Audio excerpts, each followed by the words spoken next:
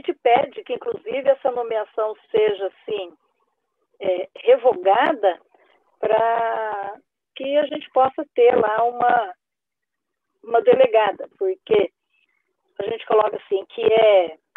que é urgente defender que denunciar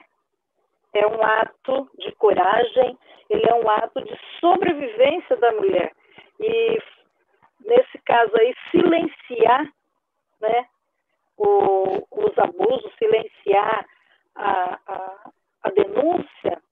acaba prejudicando a, mais ainda as mulheres. Então,